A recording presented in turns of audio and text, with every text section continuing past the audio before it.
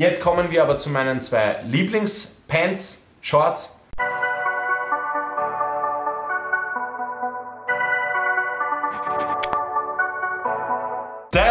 Was geht ab? Maximilian am Start und ich begrüße euch zu einem neuen Video auf meinem Kanal.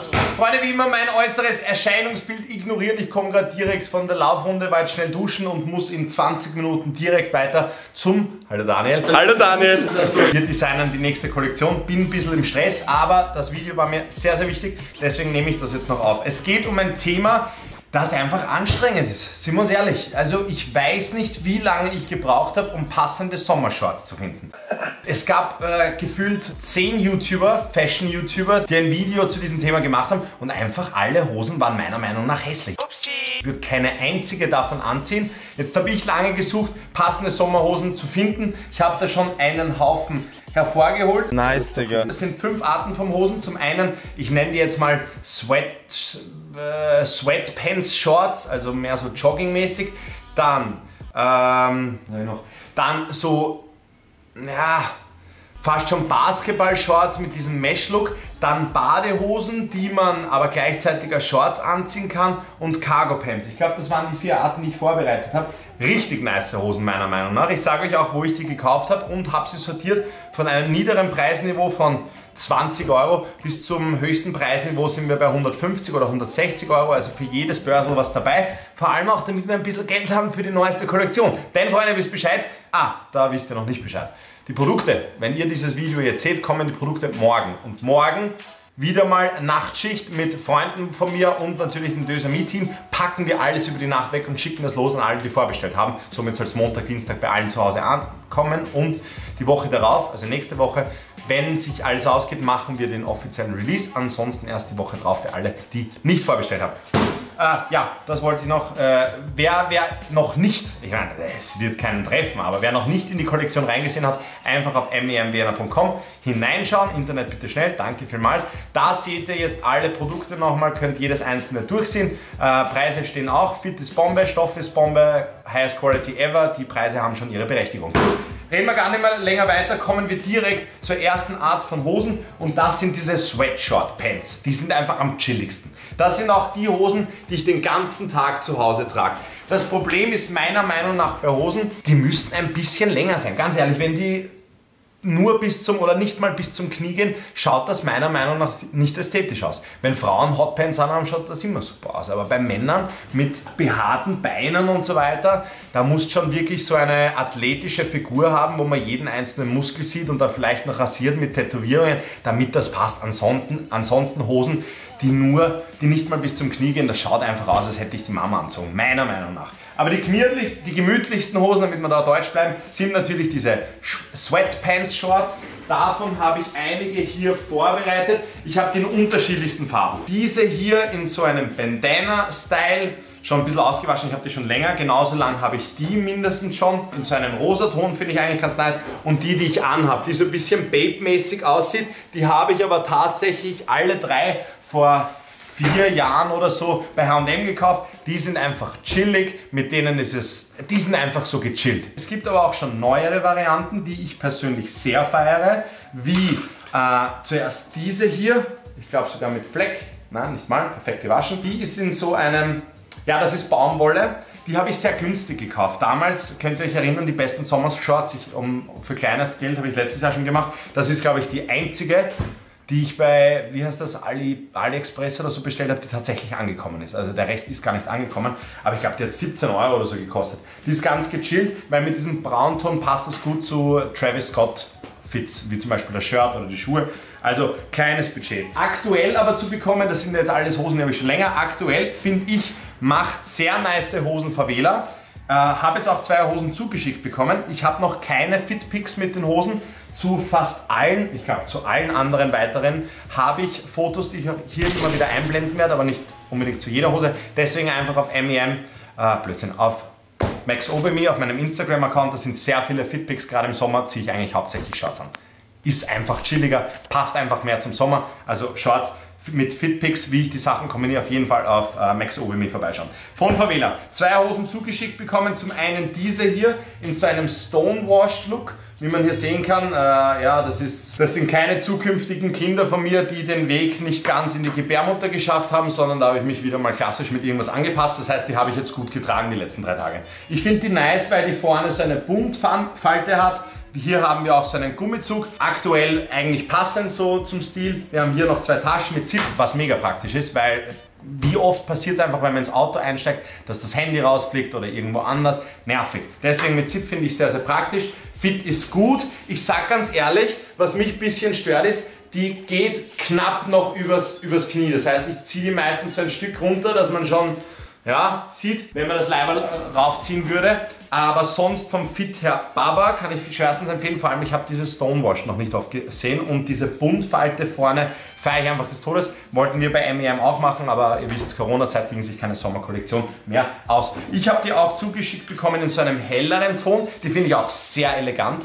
Ich finde, das ist so die, die elegante Variante davon, auch mit Buntfalte, auch mit Zip und auch mit diesem Gummibund. Ich glaube, die gibt es für ich müsste jetzt lügen, 40, 50 Euro oder so. Zahlt sich auf alle Fälle aus. Danke vielmals, dass ihr mir die zugeschickt habt. Finde ich cool. Ah, das Gummibandel kann aber auch ganz nervig sein, muss man auch dazu sagen. Kommen wir zu diesen Basketball-Shorts. Die finde ich auch sehr nice. Also da habe ich, das ist noch eine vom letzten Jahr, die habe ich bestellt. Die ist halt mehr ausgefallen. Also das ist so fast schon in Lilano-Richtung, relativ bunt. Ananas ist das Quad. Aber wir erkennen hier natürlich unten an diesem strichlierten, dass die äh, so in diesem Basketball-Look ist. Die finde ich nice, weil die geht übers Knie. Relativ breit, relativ baggy, finde ich persönlich cool. Aber ist natürlich, mh, mm, ja, jetzt nicht schlichtes, sondern da muss man natürlich eher basic dann bleiben bei dem Shirt und den Schuhen und so weiter. Finde ich persönlich cool. Ich glaube auch für die habe ich bei Alibaba irgendwann gekauft oder so, habe ich auch nur 20 Euro oder so bezahlt. Ich schwitze schon wieder nach der Laufrunde, ist ein Wahnsinn. Jedenfalls sehr nice Hose gibt es bei den alten Fotos auch auf Max Me ein paar Fitpics. Kommen wir zur nächsten und äh, zweiten und einzigen Basketball-Shorts, die ich sonst noch habe. Das ist eine schlichte, weiße, sehr chillige. Die hat so einen lockeren Meshstoff, die finde ich sehr, sehr chillig. Hier hatte ich schon mal ein Loch irgendwo, das habe ich dann nähen lassen. Aber auch hier in diesem Basketball-Look müsst schauen, Freunde. Wenn ihr euch traut, das ist halt anscheinend so eine 50-50 Chance, ob das ankommt, bei Alibaba so eine zu bestellen, findet ihr safe was. Gebt einfach ein Basketballshorts, dann findet ihr sowas. Ja. Ich bin halt kein Fan von Mannschaften und so weiter, weil ach, ich kaufe mir jetzt auch kein Juventus-Jersey, nur weil ich es nice finde, dass schwarz-weiß ist, wenn ich kein Juventus-Fan bin. Und dasselbe denke ich mir halt auch bei Basketball. Deswegen lieber schlichter gehen. Gut, Basketball-Shorts. Sehr, sehr nice. Ich habe die jetzt nicht in der Priorität, wie nice ich die Hosen finde, von Sweatpants-Shorts bis Cargo-Pants-Shorts äh, gelistet, sondern einfach durcheinander. Ähm, ah, im Preis steigern auch nicht. Egal. Wir kommen zu den Badehosen, die man auch als Shorts anziehen kann. Da habe ich eigentlich nur zwei von Off-White. Da habe ich diese hier, die habe ich mir vor kurzem gekauft auf Farfetch. Für die habe ich 200 Euro bezahlt. Die ist aber auch relativ kurz, die geht knapp nur übers Knie, muss ich auch immer ein bisschen ziehen. Habe 200 Euro dafür bezahlt. Aber der Scheiß ist halt, die hat einfach keine Hosentaschen auf der Seite. Also wo ich das gesehen habe, wollte ich es direkt wieder zurückschicken, habe es aber jetzt doch bezahlt, äh, doch behalten. Finde ich ganz cool. Habe ich draußen noch nicht so getragen, sondern meistens zum Trainieren und eben, ja, fürs Freibad, zum Flexen beim Turmspringen. Beste Leben. Ich habe die nochmal in einem Grün, die habe ich schon sehr lange. Ist genau derselbe Stoff, finde ich auch ganz nice, habe ich schon länger, bin ich schon viel gesprungen damit, eignen sich halt perfekt als Badehosen. Jetzt kommen wir aber zu meinen zwei Lieblingspants, Shorts. Die habe ich beide von Represent geholt. Eine für 100 keine Ahnung, 149, eine 160, ich weiß nicht genau, aber so um den Dreh. Ja, ich fange mal mit der zweitliebsten an. Das ist die hier. Die ist von Represent. Wir kennen es an diesen klassischen Cargo Pants Taschen. Muss man mögen, sind aber mega praktisch, Leute. Man kann so viel einstecken, es ist so chillig und es schaut dann einfach. Kennst du diese Leute, die ihre fetten Geldbörsen in diese Arschtasche packen und dann schaut hinten sein. Äh, das schaut furchtbar dämlich aus. Bei dem ist das überhaupt kein Problem, fällt gar nicht auf, weil du einfach vorne solche Taschen hast, die von Haus aus schon wegstehen. Das ist schon mal sehr nice. Man muss sich halt mit diesem Zeltstoff anfreunden, weil wenn es heiß ist, dann klebt das halt. Ja, das muss man auch dazu sagen. Das Ding ist halt, ich hatte die in L bestellt, die ist dann angekommen, hat prinzipiell gut gepasst, aber die war einfach viel zu kurz. Viel zu kurz einfach. Ich weiß nicht, warum aktuell so viele die Hosen so machen, dass die Knie raus sind. Vielleicht schaut es nur bei mir beschissen aus, don't know, aber mir gefällt es halt einfach auch nicht. Ja? Und darum habe ich mir jetzt nochmal ein XL bestellt. Passt jetzt von der Länge besser, aber ich muss halt die ganze Zeit herumzupfen, weil wenn ich zweimal springe, stehe ich nackt da. So circa ist das Ganze. Trotzdem vom Look her in einem Camouflage-Ton, den ich so noch nicht gesehen habe. Und ich feiere halt einfach auch die Taschen, so wie ich es bei den Cargos von Represent auch habe. Kommen wir zur letzten, die habe ich ebenfalls von Represent. Ihr merkt schon, ich ziehe gerne Shorts an. Warum auch nicht? Wieso sollte ich im Sommer keine Shorts anziehen? Es gibt nice Shorts und ich muss keine Angst haben, dass ich damit dämlich ausschaue. Lieblingshose, ebenfalls Represent.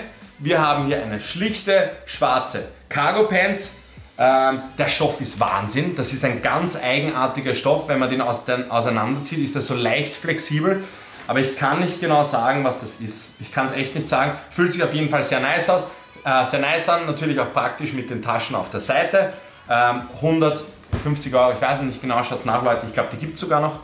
Vielleicht gibt es jetzt sogar im Sale, Represent macht ja aktuell Sale. Aber es gibt auch günstige Varianten. Ich glaube, Favela hat eh auch günstige Varianten. Also schaut einfach nach. Ich weiß nicht, wie viele Shorts das jetzt waren, aber ich glaube, da waren safe für jeden äh, eine Short dabei, die ihr nice findet. Ich hoffe, ich habe euch ungefähr angesagt, wo was dabei ist. Ich haue es aber nochmal in die Infobox von den Dingen, die ich gefunden habe. Natürlich ohne Code, also ich verdiene nichts daran. Ich habe da Werbung stehen, damit ist halt, ist halt Werbung für einzelne Produkte, aber ich verdiene nirgends was dazu. Also ihr könnt diese Links anklicken, ich habe nichts davon. Schaut auf alle Fälle rein. Ich hoffe, ich habe euch geholfen. Schreibt mir bitte in die Kommentare, ob ihr noch weitere Shorts nice findet, die wir vielleicht in dem Video jetzt nicht hatten. Welche Short ihr am nicesten gefunden habt und welches Format ihr noch wollt. Es wird am Freitag noch eine Reaction kommen. Ausreißer, ihr weißt Bescheid. Und am Sonntag kommt, äh, ja, Lara hat mir ein Outfit bei Farfetch gekauft. Das sind jetzt schon drei Pakete. Morgen kommt das letzte an. Und ich bin gespannt. Ich glaube 1800 Euro hat sie ausgegeben. Keine Ahnung, was mich da erwartet, aber schaltet am Sonntag auf alle Fälle rein. Im Prinzip war es das von mir. Gespannt bleiben. Nächste Woche hoffentlich schon Release von MEM. Ihr wisst Bescheid. Schaut vorbei auf memvienna.com. Sucht euch was Nices aus. Wir haben die Hälfte schon ausverkauft in der Vorbestellung, wo eine Stunde ist. Das heißt, wer was bekommen möchte, dann am Jobtag auf jeden Fall schnell sein. Aber auf MEM Vienna auf äh, Instagram seid ihr sowieso informiert. Liebe Leute, vielen lieben Dank fürs Zusehen. Wenn es euch gut gefallen hat, dann lasst mir auf jeden Fall ein Like da, wenn ich euch helfen konnte. Auch und schreibt mir in die Kommentare die besprochenen Dinge. Das war's von mir, euer Maximilian. Würde ich genauso tragen.